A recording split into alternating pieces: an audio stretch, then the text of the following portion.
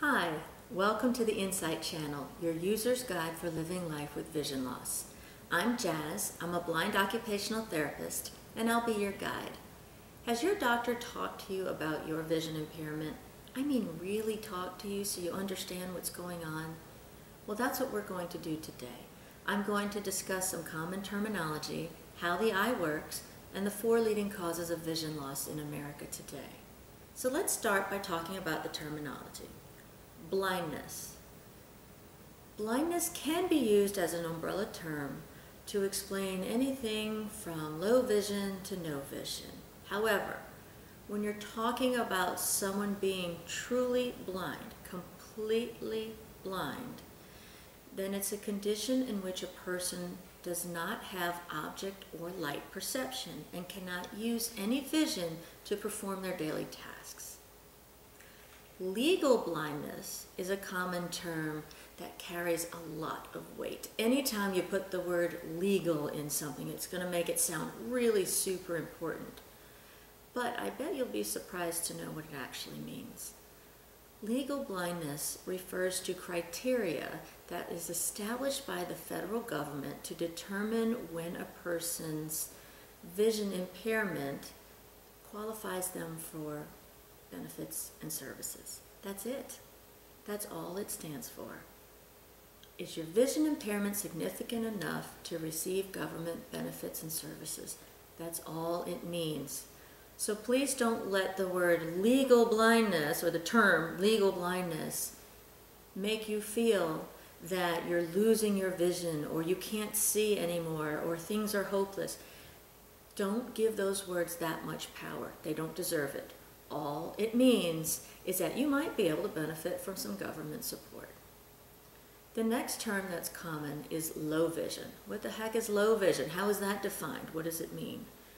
Low vision refers to a condition where you have significant enough loss in your vision that it's getting in the way of you performing your daily activities. And it cannot be corrected by medical or surgical interventions, but you still have some vision to work with. So how is it defined? How is it measured? Well, it's measured by looking at different components of vision. There are many different things that happen in the eye that allow us to see what we're seeing. Today I'm going to talk about six components that are uh, strongly affected by the four leading causes of vision loss in America. That's our visual acuity, visual field, contrast sensitivity, glare modulation, ocular motor control, and visual perceptual skills. So these are all six different types of vision coming through your eyes and any given condition can affect these components and affect the way you're seeing. So by the end of this episode today, you should have a general understanding of why you're seeing the pattern of vision loss that you may be seeing. So let's start by talking about acuity. Acuity is the level of vision impairment that is most easily measured. So you're going to hear that the most. Uh, what's your vision? My vision's 2060. If you have normal vision, what's that? 2020. Everybody knows those numbers, right? But do you really know what they mean? So when we say that someone has quote unquote normal vision, that would be for a human at 2020. That means at 20 feet, a person with normal vision will be able to see a particular object clearly. So acuity is the measure of clarity, our ability to see details clearly from a particular distance. So if you have, let's say, 2080 acuity, what does that mean? That means that what you are seeing at 20 feet, someone with normal vision would see at 80 feet. You want to hear that again? I'll take it one step further. To be considered legally blind, you need to have your best corrected acuity at 2200, 20 slash 200, or 20 degrees of field loss. So what does 2200 mean? That means that if your acuity is 2200, what you can see clearly at 20 feet, a person with normal acuity could see at 200 feet. So that's what those numbers mean. Now you can have distance, we all have distance acuity, and then we have near vision acuity. Nowadays it's very common to have to have glasses that have different thicknesses depending on if you need to see far or need to see near. So you have bifocals, and you even can have trifocals nowadays because you need to be able to see far, you need to be able to see close, and you need to be able to see a computer screen. So these all have to do with acuity and getting lenses to refract, refract, blah, blah, blah, refract light into your eye so that you can get your best clarity to see at these three different distances. So we're going to move on to visual fields. So visual fields have to do with your peripheral vision, and that is your side vision and your top and bottom vision.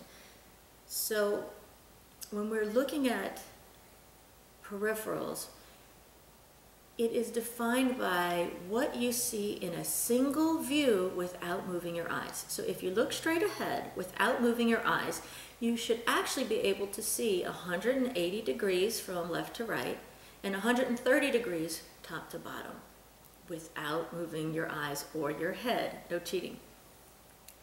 When you go to the doctor, your doctor may put his hands behind your ears and say, let me know when you see my finger. Or he may shine a light and say, let me know when you see the light.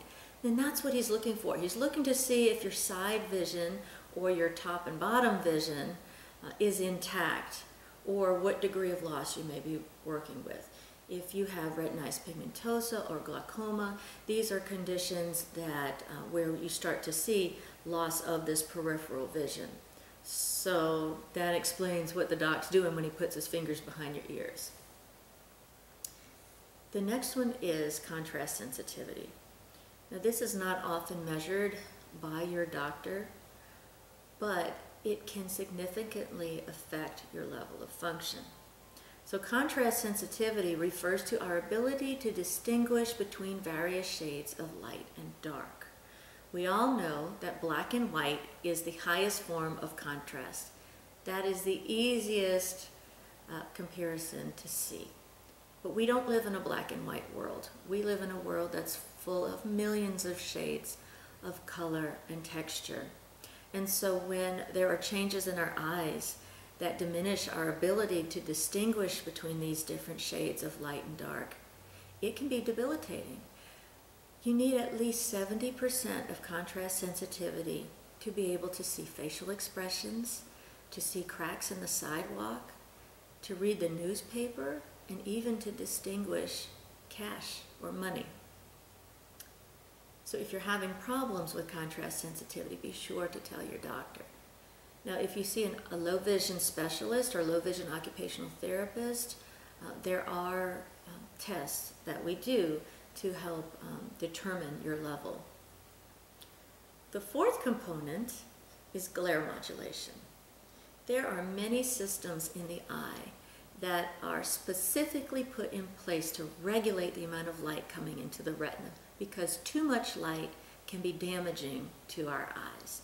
It can also be very painful and keep us from going outside on a bright sunny day or keep us from doing activities that we love.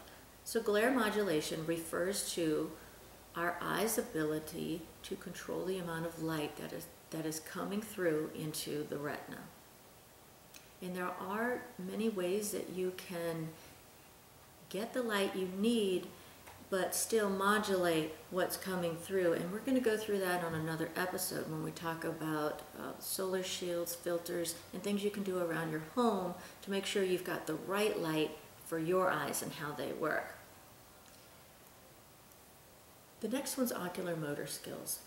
Each eye has six muscles that allows us to perfectly move them where they need to be.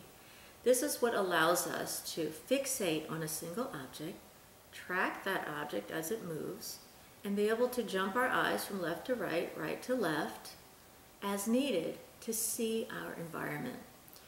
If the muscles that control our eyes, um, if we're not able to control them, then it's very difficult for us to be able to get the information we need from our environment. Can you imagine driving if you can't control your eye movements? Any dynamic activity that involves movement of some kind would be difficult if we can't control our eye muscles. So the sixth component I'm going to talk about today is visual perceptual skills. This is our brain's connection to our eyes. So the eye is, acts like a camera. It brings in light, processes it, and shoots the information on up to the brain where the brain makes sense of it.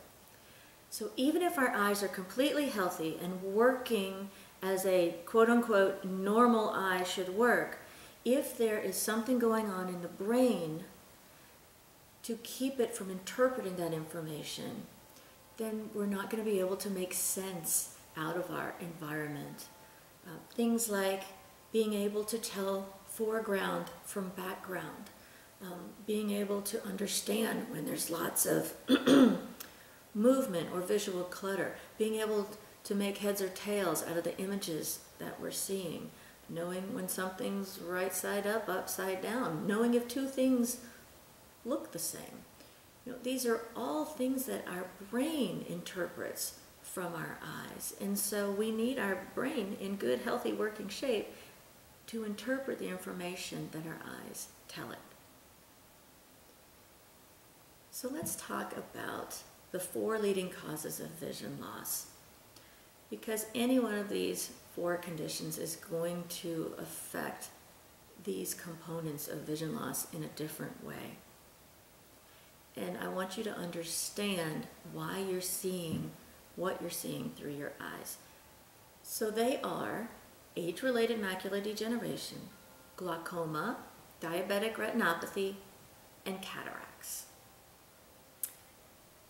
Before I get into the detail of each of these four, I think we need to start with understanding how the eye works. The eye is an amazing organ. Every little piece's part is designed to allow light to come in, hit the back of the retina, be processed and shoot it to the brain, where over 50% of our brain is dedicated to understanding or processing visual information. It's an incredible system. And it all starts with the protective mechanisms of the eye. Our eyelids and our eyelashes. Our eyelids and our eyelashes actually have an important job. Their job is to keep debris from getting into our eye. Not just because it hurts when we get something in our eye, that's important too, but actually to keep debris from blocking light that needs to get through so that we can see what we need to see.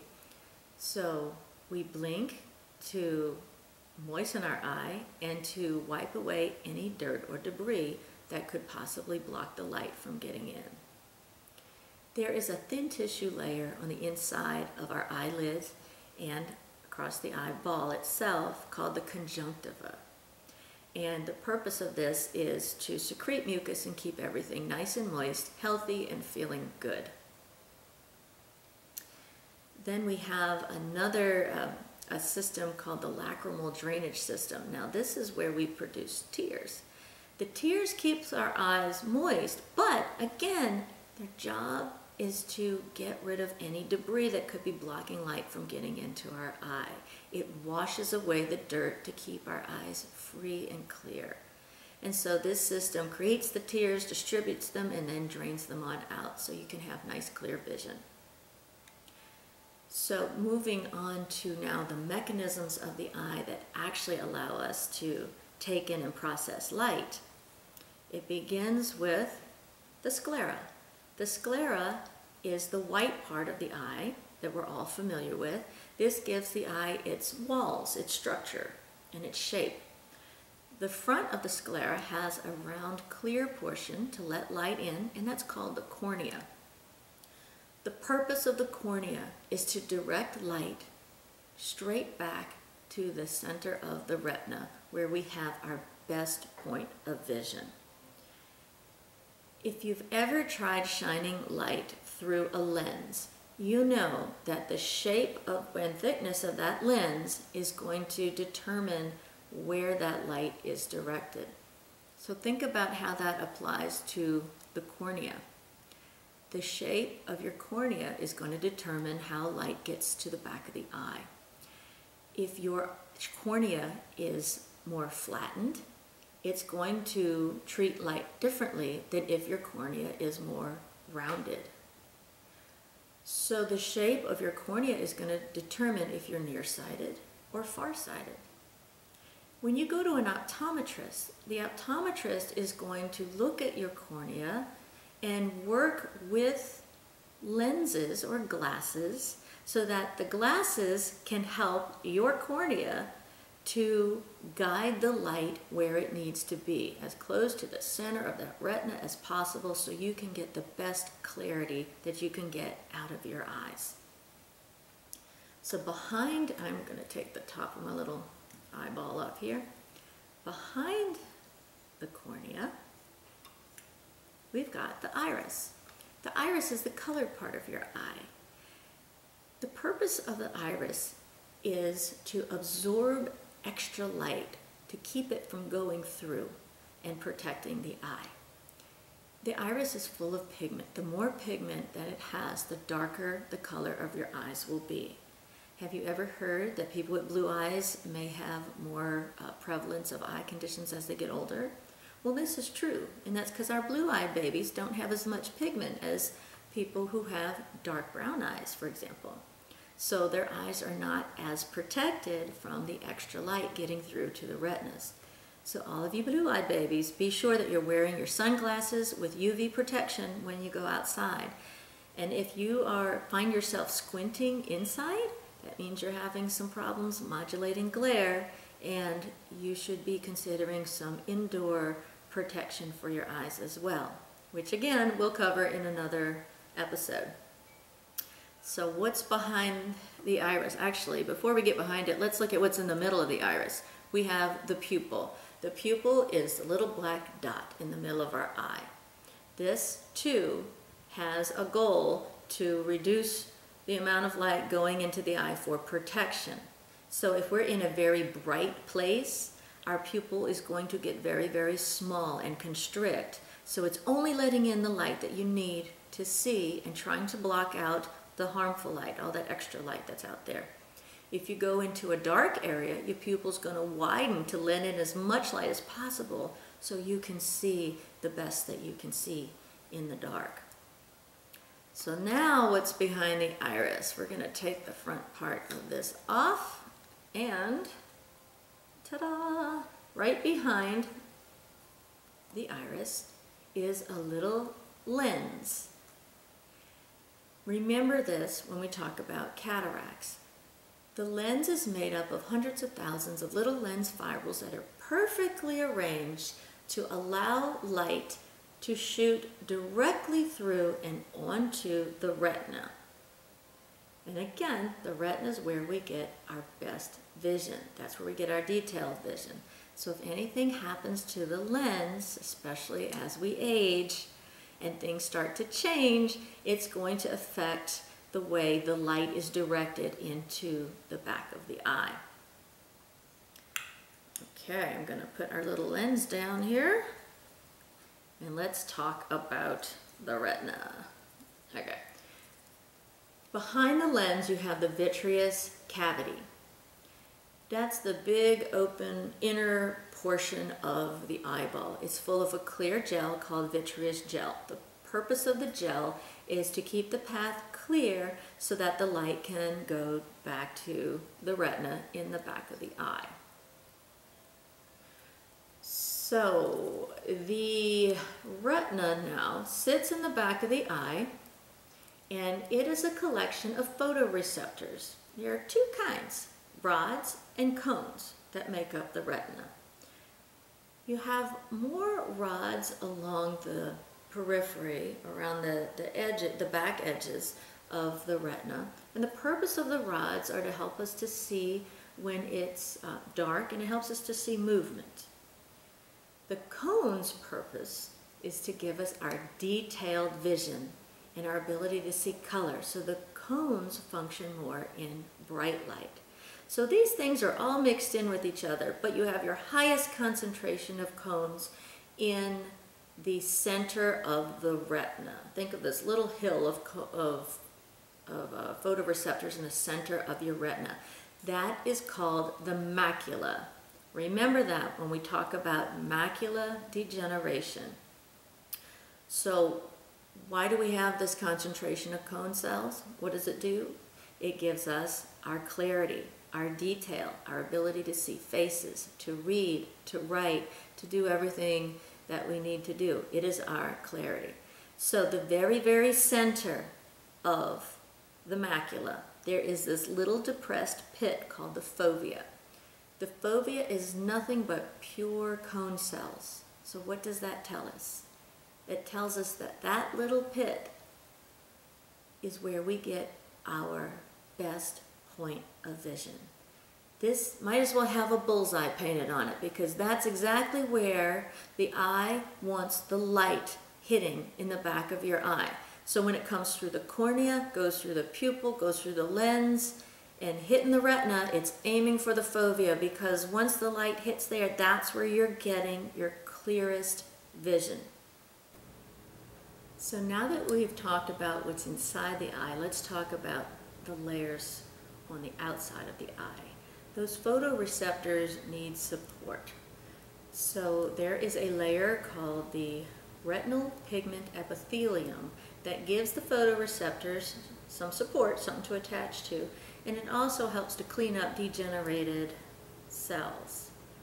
Behind that is the choroid layer. This is the vascular layer or the blood vessels that feed the retina. This is very important when we talk about um, macular degeneration a little bit later on. So the choroid layer is um, between the epithelium and the back wall um, of the eye socket. It also contains a pigment called melanin. Melanin's job is to absorb any extraneous light coming through that might get in the way of the transmission of the image up to the brain. So as you can see from start through finish, there are parts of the eye designed to help absorb extra light and protect this retina from getting too much light so you can get clear vision that's sent up to the brain where it's interpreted. All of this is done through the second cranial nerve, or the optic nerve. This is made up of millions of axons that go to the brain. They do a lot of switching around back and forth up there. And once the information gets to the visual cortex, it's interpreted. But remember, over 50% of our brain is actually designed to interpret visual information. So the visual cortex is not the only place where visual information is interpreted in our brains. So any part of the eye or the brain that is kept from doing what it is designed to do can affect vision. So it's good for you to keep that in mind as we talk about the four leading causes of vision loss. The first one was macular degeneration. So we're going to go back to the center of the retina, our macula, which has the highest concentration of cone cells. Do you remember what the job of those cone cells is? It's where we get our detailed vision, our best clarity. So with macular degeneration, you are going to um, see a deterioration of the cells in the macula. When that happens, it basically causes those cells to stop processing light. So what happens is you get a little fuzzy spot where the cell is that gets snuffed out. Think of a pixels on a television. When pixels on a television blow out, you get little fuzzy spots in the middle of your image. Similar thing happening in the macula. We call these fuzzy spots scotomas, and they come in all different shapes and sizes. But because it's in the macula, you're going to see a loss of central vision. You should still keep peripheral vision. It's just focused more in our central vision. The fovea, which is where we get our clearest point of vision, our best point of vision. Remember that? That little pit right there in the center of the retina? If we get scotomas that cloud over our best point of vision, the brain actually chooses a secondary best point of vision called the PRL or preferred retinal loci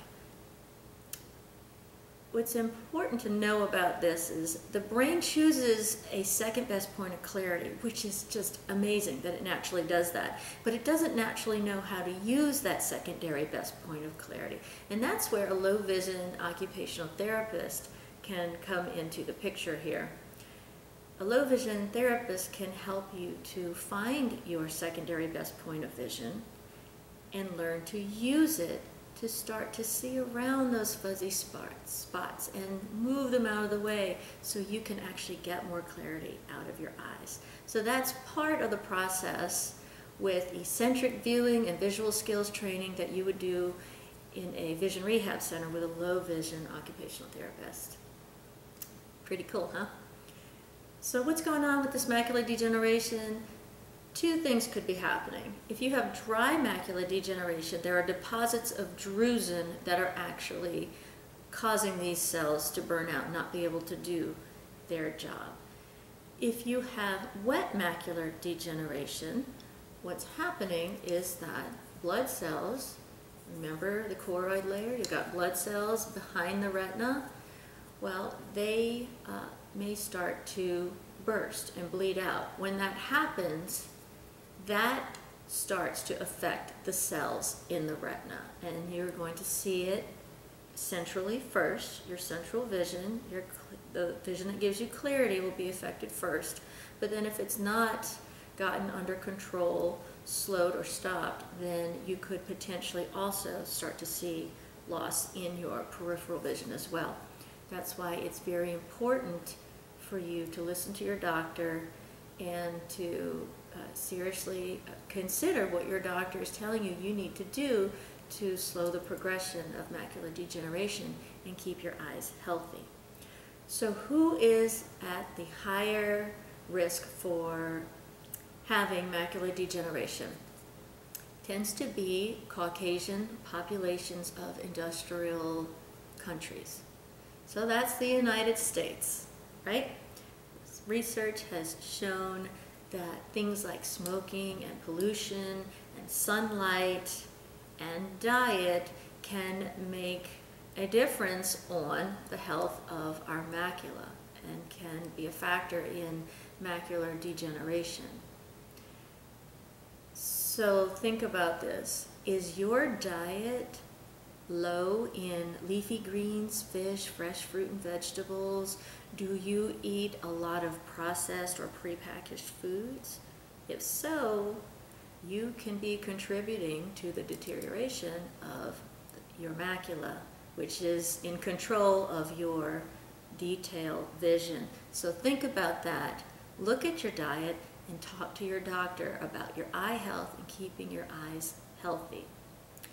So the next one we're going to talk about is glaucoma. Now glaucoma presents itself differently than macular degeneration. It has to do with pressure in your eye. Think about think about a balloon. When you blow up a balloon, the air is pressing on the inner walls of that balloon and pushing it outward. With glaucoma, most commonly open angle glaucoma, you have more fluid coming into the eye than going out at any given time. So that fluid is pushing and pushing and stretching on the eye. So what is lining that inner layer of the eye and getting the brunt of all this pressure? It's the little tender nerve fibers around that inner layer of the eye.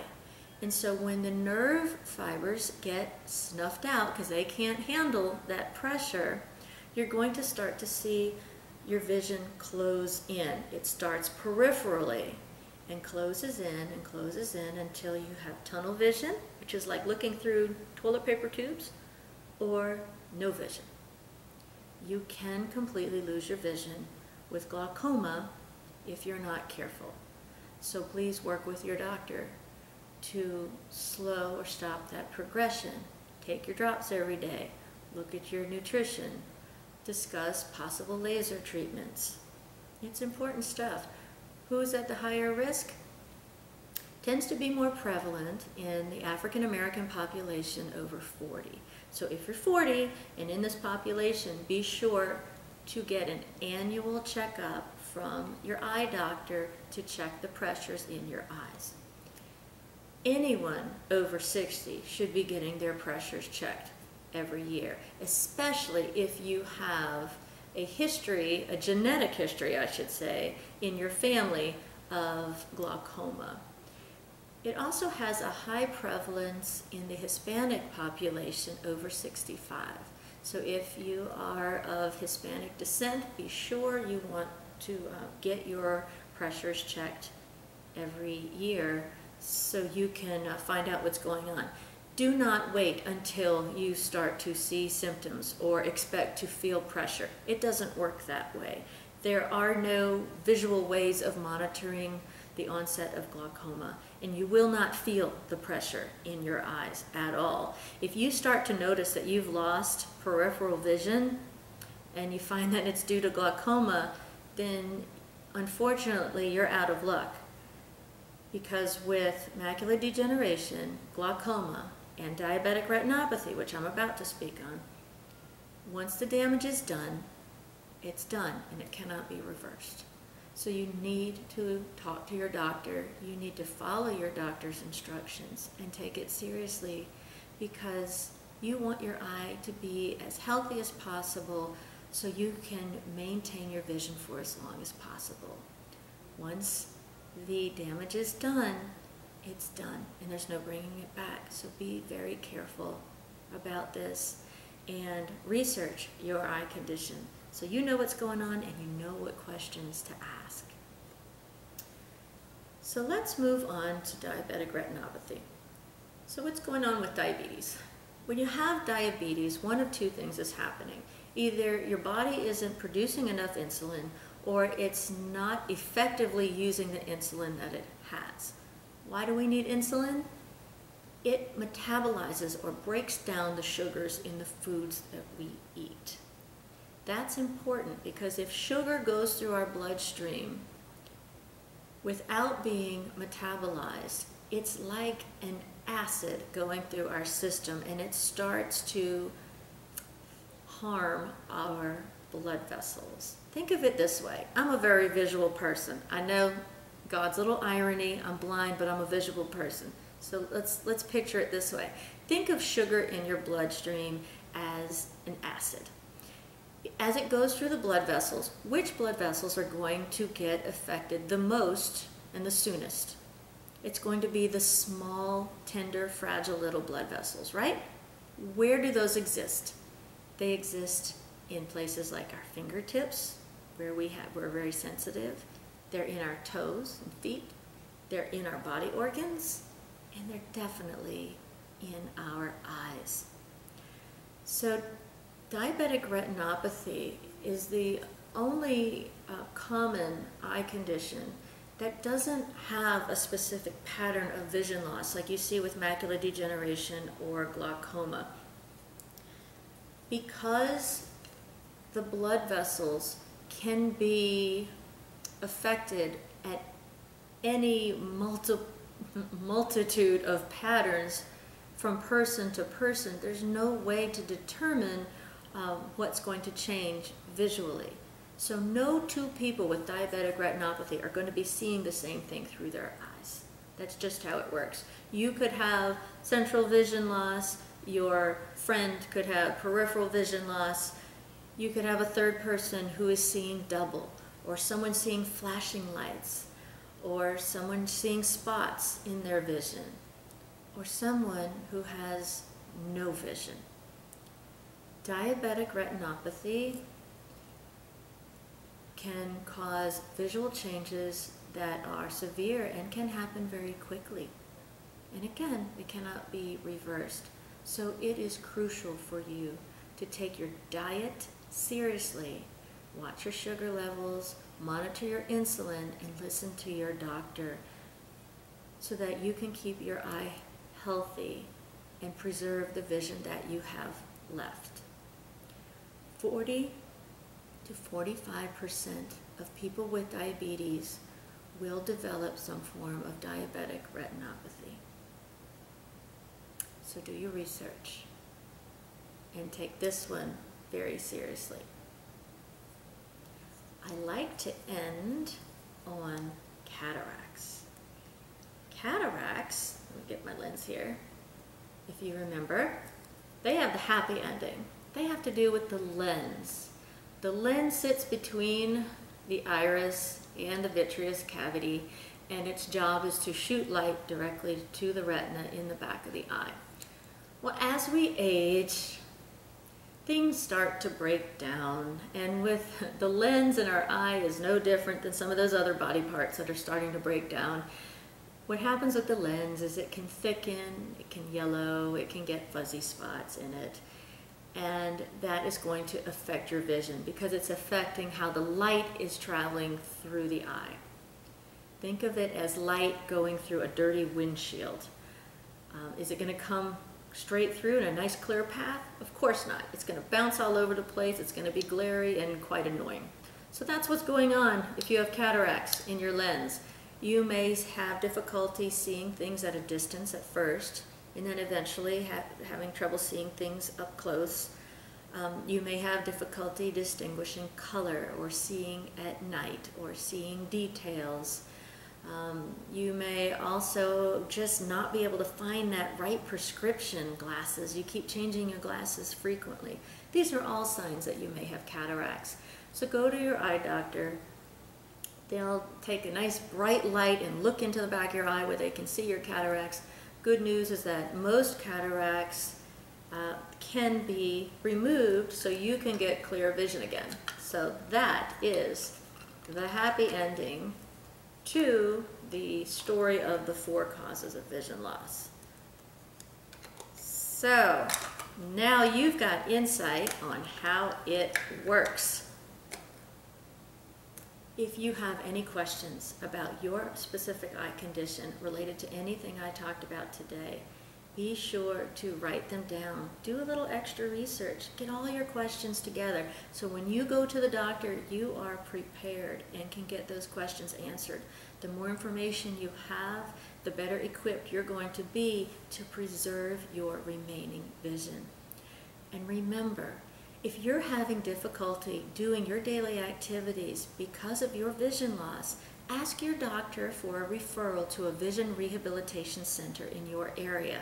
That's where you have low vision occupational therapists, certified low vision therapists, orientation and mobility specialists, access technology, sorry, access technology specialists, and other specialists whose job is to help you to do what you need to do to meet your goals, to be independent and to be safe, and to get the most out of your remaining vision. So if you like this episode today, click the thumbs up at the bottom of your screen. Don't forget to like, subscribe, and share this video with anyone you know who is experiencing vision loss. If you have any ideas, comments, questions, reach out. I'd love to hear from you. Remember, my job is to help you to make this look good. So no worries, you got this. See you next time.